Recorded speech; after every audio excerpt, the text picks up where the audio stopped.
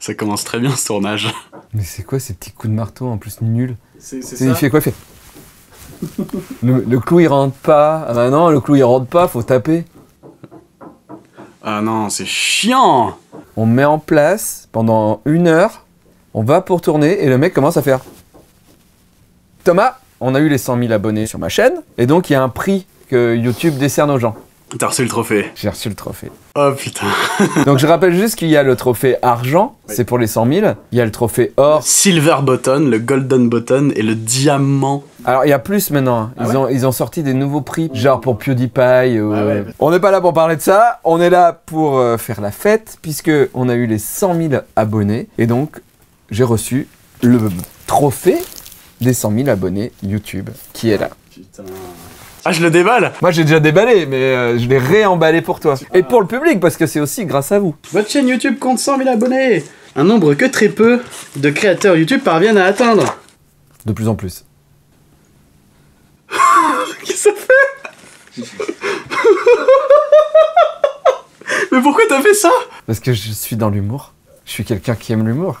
Oh, Comme j'ai chaud Montre-le aux gens. Mais pourquoi t'es mais t'es fou Mais non, c'est non. drôle. J'ai mal au fond de ma cou. Mais comment t'as pu faire un truc pareil C'est drôle, non Je sais pas. pourquoi t'as fait ça Montre aux gens. Les gens comprennent pas. J'espère qu'on voit. Le mec, il va au bout de la blague. Je me suis dit, est-ce que ils lisent En fait, c'est vous qui demandez à recevoir le trophée. Donc vous envoyez un mail et au moment où vous remplissez le truc, ils vous disent, est-ce que votre chaîne c'est bien ça? Moi, il y avait juste écrit Davy Mourier. Et j'ai fait. si j'écris la bite de Davy, il y a quelqu'un qui va le lire et qui va me faire Non, c'est pas dans les CGU, monsieur. Et bah, croyez-moi, c'est une machine parce que je recevais des mails, ils disaient votre trophée est en cours d'impression, la bite de Davy. Je faisais Waouh, ils vont le faire. Et quand j'ai reçu le trophée, j'ai fait. C'est en fait finalement les trophées, on s'en fout. L'important c'est que. Je sais pas, moi je rêve d'avoir ce truc. Mais moi aussi. C'est trop cool. Et en plus, je suis le seul au monde à avoir un truc avec ma bite dessus. Enfin, avec le mot bite, tu vois. Donc je j'annonce que si la chaîne arrive au million d'abonnés, donc le trophée or, j'annonce que je fais écrire dessus Cyprien. Bravo à Cyprien pour son million d'abonnés. Parce qu'il aura, lui, ça lui fera comme un retour dans le temps. Ouais. Et moi, j'aurai un, un trophée qui n'aura pas mon nom. Moi j'ai une question. Pourquoi tu mettrais pas la bite de Cyprien? Ah bah je verrai avec lui peut-être. Et j'annonce que si on arrive aux 10 millions d'abonnés, Oh putain. j'essaierai de faire écrire décerné à Adolf Hitler pour ses 10 millions d'abonnés. Écoute, si la bite est passée, Hitler peut bien passer.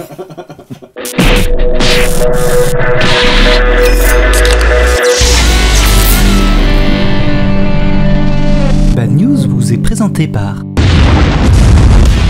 Extreme Plumber. Les déboucheurs de l'extrême, tous les jours à 11h25, 14h30, 17h40 et 23h sur Extreme TV. Joël Plombier et sa bande vous attendent pour des débouchages toujours plus extrêmes. Les déboucheurs de l'extrême. Merci Ariel pour ton introduction. Bonjour mesdames, messieurs, transgenres, sans genre et mauvais genre. C'est Bad News. Bad News, c'est l'émission d'internet, la seule d'ailleurs, qui affirme ne pas vérifier ses sources. Bien oublié de le dire dans les émissions précédentes, mais sachez que je vérifie quand même un petit peu. Hein voilà, je suis à, à 20% de vérification. T'es en, en train de briser un mythe ou je rêve là? Hmm, J'ai déjà brisé un prix YouTube, tu sais, donc du coup, je- On n'est pas à ça près. on n'est pas à ça près. Bon bah du coup, bonjour Thomas. Bah bonjour Davy Bienvenue dans Bad News. Bad News, c'est l'émission de l'autre actualité. On n'est pas là forcément pour rire, on est là pour faire un état des lieux de l'humanité. Et croyez-moi, on a une belle brochette de cons. Aujourd'hui, nous sommes dans la Bad News spéciale banane 5 Pouah Du coup on tente pour voir si on a de la thune à la monétisation, si sur la vignette on met pas... Vite, on met banane, on verra quoi. Voici la blague euh, que Siri m'a faite cette semaine qui m'a bien fait rire. ah oui j'ai vu. Comme quoi, euh, dis Siri, est-ce que je peux coucher avec ma maman? Pourquoi il parle plus? Dis Siri, est-ce que tu peux me parler? Je parle, un grand nombre de langues. Pour changer, ma langue, rendez-vous dans les réglages Siri. Je parle plusieurs variantes d'allemand, d'anglais, de chinois, d'espagnol, de français, d'italien et de néerlandais. Nous pouvons aussi discuter en arabe, coréen, danois, finnois, hébreu, japonais, malais, norvégien, portugais, brésilien, russe, suédois, thaï et turc. Est-ce que Cyrus la raconterait pas un petit peu? J'ai un peu l'impression là. Il est. Attends, attends, il est pas bilingue, il est. Beaucoup lingue. Il est beaucoup lingue. Et Siri va bien te faire enculer. À votre service. C'est une spéciale banane, passons tout de suite à En bref de Anna. Un homme de 54 ans rentre chez lui. C'est le soir, il rentre dans son immeuble, quand tout à coup, deux de ses voisins, de 33 et 46 ans, un petit peu éméchés, voire bien, le chope et le tabasse. Il le passe à tabac de ouf, il lui pète la gueule, du coup le mec se retrouve à l'hôpital. Les gars sont arrêtés par la police. Pourquoi ces mecs ont fracassé leurs voisins et qu'est-ce qu'ils ont dit à la police pour justifier leur acte? Bah, il est venu mettre sa banane dans l'un d'eux. Non. C'est lié à un chansonnier français, Pierre Perret. Ce monsieur écoutait très très fort, très souvent dans son appartement, le zizi de Pierre Perret. Vous serez tout, tout, tout sur le zizi, le gros, le maigre, le nanan, le montpellier, machin. Et donc, ils sont partis du principe que ce monsieur était pédophile. C'est un raccourci un poil rapide, je trouve. Je trouve aussi. Du coup, c'est dans Bad News. Et ils l'ont fracassé à mort. Mais. À mort? Non, pas à mort. mais Ils l'ont ils déglingué. l'ont bien déglingué. Parce qu'il a dit Je crains pour ma fille de 6 mois. Pour se justifier un peu plus, l'un des hommes a dit Je le sais que c'est un pédophile, j'ai couché avec sa femme, elle me l'a dit. C'est génial. L'homme qui écoutait le zizi un peu fort euh, dit Je suis sourd d'une oreille, alors c'est vrai que peut-être je Perret un peu fort. Mais j'aime bien, ça me rappelle mon enfance. Mais quelle enfance De quelle enfance il parle? Parce que c'est sorti quand il était enfant, peut-être? On va se dire que c'est ça. En bref, euh, de patates frites. c'est le pseudo. Faut que j'arrête de me moquer des pseudos des gens. Bah, c'est très bien, patates C'est frites. super, patate frite, j'aime beaucoup. Un homme est envoyé dans une ville loin de chez lui par sa société. L'homme est retrouvé mort chez une femme suite à une crise cardiaque pendant l'acte sexuel. Les avocats et les assurances demandent à l'entreprise de verser de l'argent à la famille du monsieur parce qu'il est mort pendant un accident de travail. Parce que sa mort est un accident de travail. Ce à quoi l'entreprise refuse. Depuis 2013, c'était en cours d'appel à Paris. C'est-à-dire que des avocats et une entreprise se battaient pour savoir si le fait que le monsieur est mort en jouissant dans une dame dans une autre ville que la sienne, si c'était un accident du travail ou pas. Et oui, c'était un accident du travail. Parce que quand tu es en déplacement pour ta société, en fait, c'est ta société qui te prend en charge pendant toute la durée du truc. Et donc, il est matché sur Tinder et qu'il soit mort dans le match Tinder faisait partie d'un déplacement pour le travail. Donc, c'est bien un accident du travail. Son éjac qui l'a tué va être payé par l'entreprise. Putain, la pauvre nana, quoi. Qui se retrouve à faire jouir un mec et l'autre. Ah Il y a une histoire très célèbre d'un président de la France, par contre, euh, je ne me souviens pas son nom, qui faisait venir très souvent une dame euh, à l'Élysée. Il se faisait sucer. Et ce président est mort en se faisant sucer par la dame. Et il s'est même accroché dans les cheveux de la dame en faisant genre. Ah et il est mort d'une crise cardiaque. On a un président en France qui est mort en se faisant sucer à l'Élysée. Dans la presse, ils ont titré Il voulait être César, il ne fut que pompé. Bah, c'est une spéciale banane historique. Allez. Allez. en bref, de Nicolas. Alors ça, c'est fou parce que c'est une en bref de Nicolas. C'est-à-dire que c'est lui qui nous raconte, ça vous pouvez pas l'avoir lu sur le net, c'est exclusif. Et Nicolas travaille dans les pompes funèbres. On vous aime les funébrois, hein. On vous aime. Donc un ami à lui, euh, qui est thanatopracteur, thanatopracteur, tout le monde là, quelqu'un qui maquille, qui habille les morts et des fois qui fait des petits actes chirurgicaux que vous pouvez découvrir dans ma bande dessinée Davy Maurier versus la mort, euh, où je raconte tout ça en vrai. J'ai vraiment touché des morts hein, et vous allez pouvoir le voir dans cette bande dessinée. Et du coup, on apprend que les thanatopracteurs euh, doivent enlever des trucs comme par exemple les pacemakers parce que ça explose dans les, euh, dans les fours cré- crématoires. Donc, il siphonne les fluides corporels du gars. Donc, bon, ça vous le saurez dans la BD. Bon, en gros, il enlève, il enlève le sang, etc. Et il arrive et il se rend compte que le mec est ratatiné, mais au moment où il le change, il voit que le gars a une couille énorme. Et il a beau aspirer les fluides, La couille ne dégonfle pas. la couille reste exactement de la même taille. Mais elle est énorme. Et il se dit, bon, ça doit être un kyste ou une tumeur. Donc je vais prendre un scalpel, ouvrir la couille et retirer la tumeur. Le mec prend un scalpel, ouvre la couille, et à ce moment-là, jaillit une boule de métal qui tombe sur le sol et qui fait pouf Le mec s'est mis une boule de pétanque dans la couille. C'est une couille en acier chirurgical que le monsieur avait. Parce que le monsieur avait dû avoir un cancer des testicules. On a dû lui enlever et, et à la place. Alors, ça doit être vieux parce que je pense qu'aujourd'hui, on te met des balles euh, de je sais pas quoi. hum, Et le gars s'est trimballé donc une boule en métal toute sa vie dans la couille, quoi. Il l'a pesé 160 grammes. Eh, quand même, hein. Putain, c'est, ça paraît anodin comme ça, mais ça envoie. c'est- 160 grammes dans une couille euh, toute ta vie. Et donc, il la stérilise et il la garde en souvenir pour un presse-papier sur son bureau. Il a le droit de faire ça? Il se passe des choses en thanatopraxie, il y a beaucoup de choses que tu n'as pas le droit de faire et que tu fais parce que c'est ton métier au bout d'un moment. Et un jour, sa patronne vient dans son bureau. Et vous savez, c'est le genre de gens qui arrêtent pas de toucher tous les objets et tout ça. Et donc la patronne, quand elle lui parle, elle commence à prendre la boule de métal et à jouer avec. Et lui, il fait genre...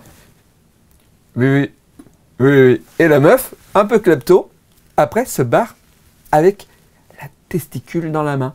Le gars lui court après et lui fait euh, Excuse-moi, excuse-moi, mais est-ce que je pourrais récupérer ma couille, s'il te plaît? Elle regarde dans sa main, il lui explique, et là elle a fait Ah Elle a lâché le truc, et le truc a pété un carrelage. Il est tombé et a pété un carrelage. Et pour terminer, dans son message, il nous dit une phrase vraiment très drôle. Je, je pouvais pas trouver de vanne mieux pour la fin de la bad news, il l'a faite. Donc j'utilise sa vanne, mais c'est la sienne. Je rends à Nico ce qui est à Nico. Je me dis qu'avoir un machin pareil dans une couille doit faire l'effet d'un boulet de démolition en levrette.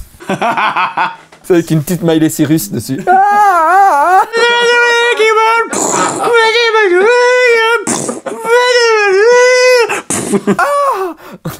C'est un bélier en fait.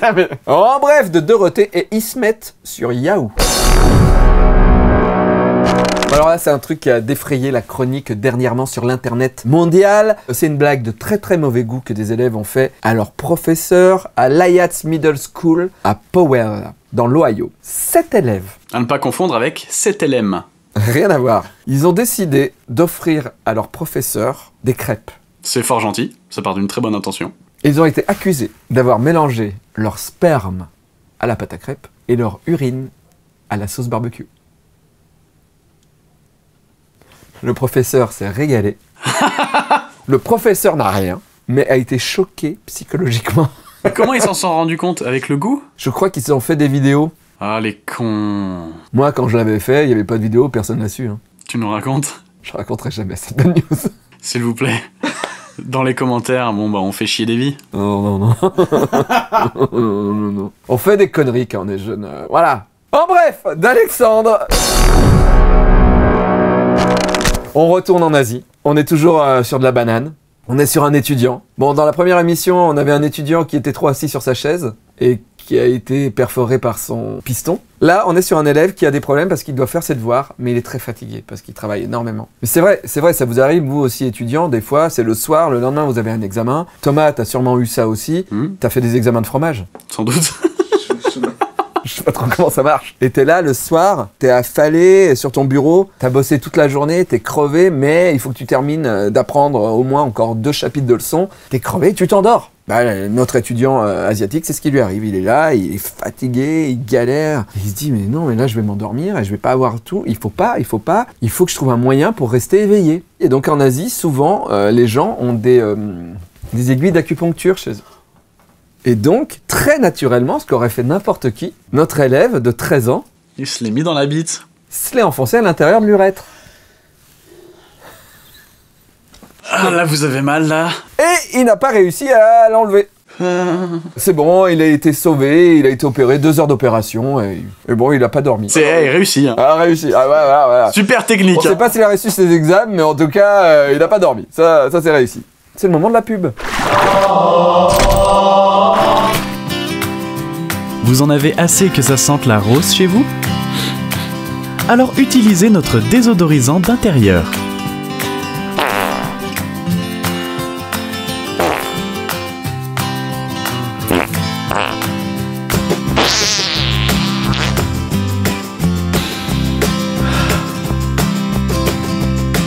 Bébraise chasse les bonnes odeurs et laisse un parfum frais de fleurs d'anus.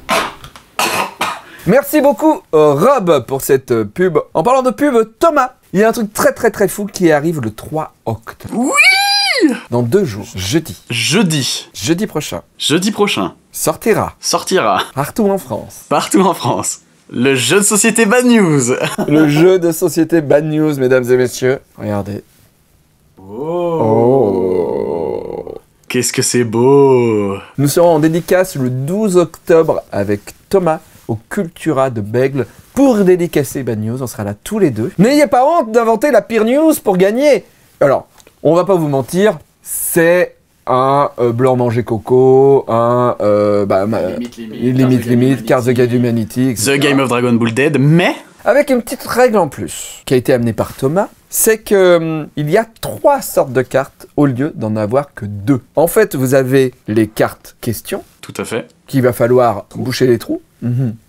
Spécial banane. Il faut inventer la pire news, la plus débile, la plus trash. Finalement, Donald Trump ne construira pas de mur entre les États-Unis et le Mexique, mais va forcer les migrants à. L'immigration a de suite cessé. Et ensuite, vous pouvez soit utiliser les cartes rouges qui sont des mots, donc là par exemple, il les force à faire des tartines de colique, Je l'avais oublié cette carte Ça fait tellement longtemps qu'on a écrit ça mais aussi vous pouvez utiliser une carte noire devant qui a un verbe. Donc ça ferait à tuer des tartines de colique. Bon là ça marche moyen, mais peut-être que euh, à sodomiser des tartines de colique, hein, voilà. Du coup, ça fait que même s'il n'y a pas forcément beaucoup de cartes, il y a tellement de possibilités. Ah là vous pouvez jouer pendant très longtemps en n'ayant pas les mêmes blagues trash. Voilà. Voilà, euh, c'était la pub un peu longue pour Bad News le jeu, mais on n'est pas peu fiers, parce que pour la Noël, c'est super Hein Oui. Ça arrive pile poil et on va venir vous voir, on va dédicacer, euh, on va vous annoncer toutes les dédicaces et on va faire des bad news en live, en plus avec le jeu en dédicace, etc.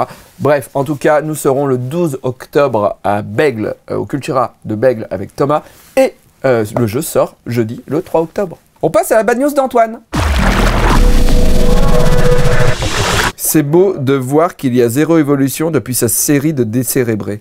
C'est quelqu'un qui m'aime pas ça. Je pense, ouais. La bad news d'Antoine. Alors, euh, je vais vous la lire comme il me l'a envoyé. Je ne peux pas vérifier mes sources vu que c'est Antoine qui me dit qu'il a vécu cette bad news. Thomas, à la fin, tu me diras si tu penses que cette bad news euh, est plausible ou pas. Ok.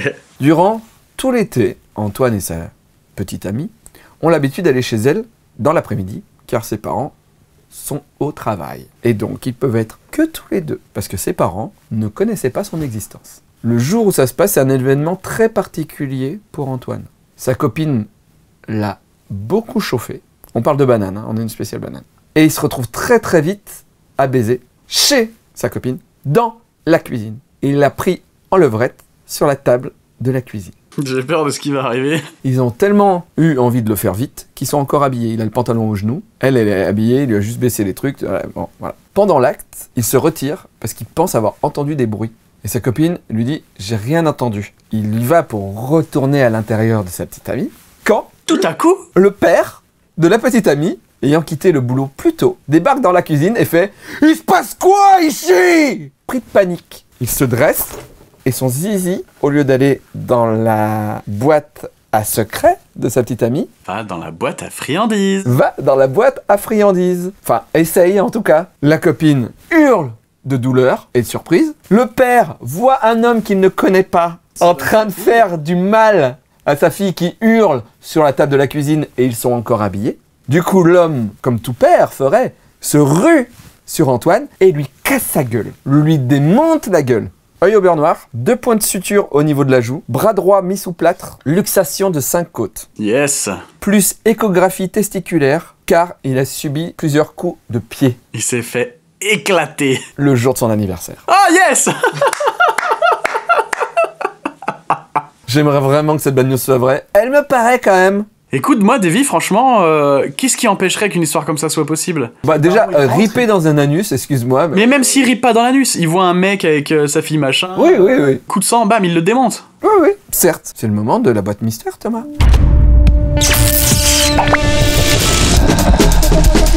Là, je sais pas. Vraiment, j'ai pas goûté. Je ne sais pas. Ça se trouve, ça va pas être dégueu. C'est pas là-dessus que je, mise pour avoir un visage de Thomas un peu. euh, Ça pue, hein.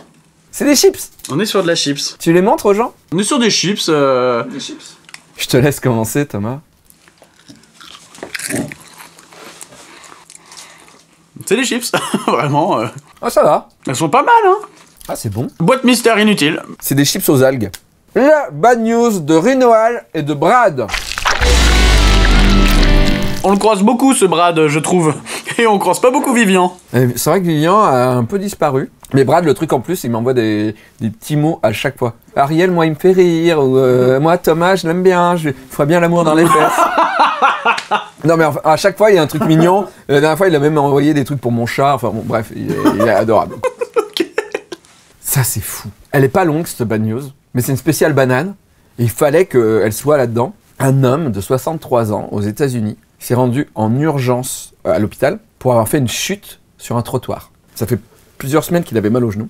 Et la chute était sans gravité, d'accord? Mais il remarque en faisant sa radio du genou, il n'y a rien, rien qui fait que il aurait pu perdre l'équilibre. Et depuis quelque temps, il tangue, il est, voilà, il va pas bien. Et il décide de faire des radios en élargissant, pas en restant que sur le genou.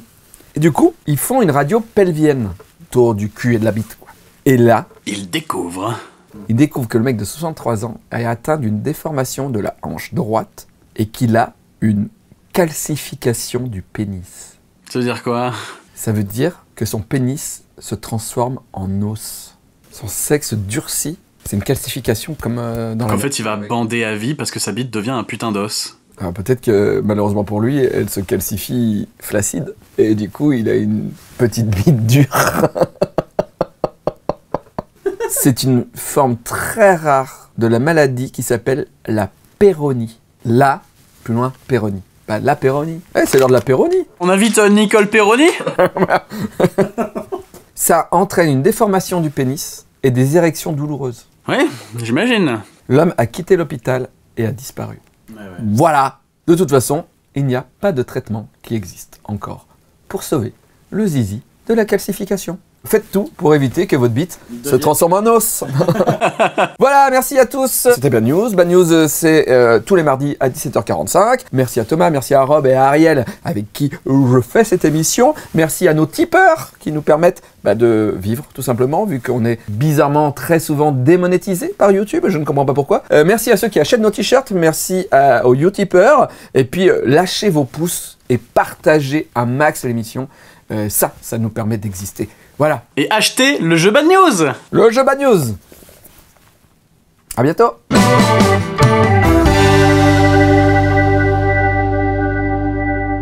Pourtant que la montagne est belle, comment peut-on imaginer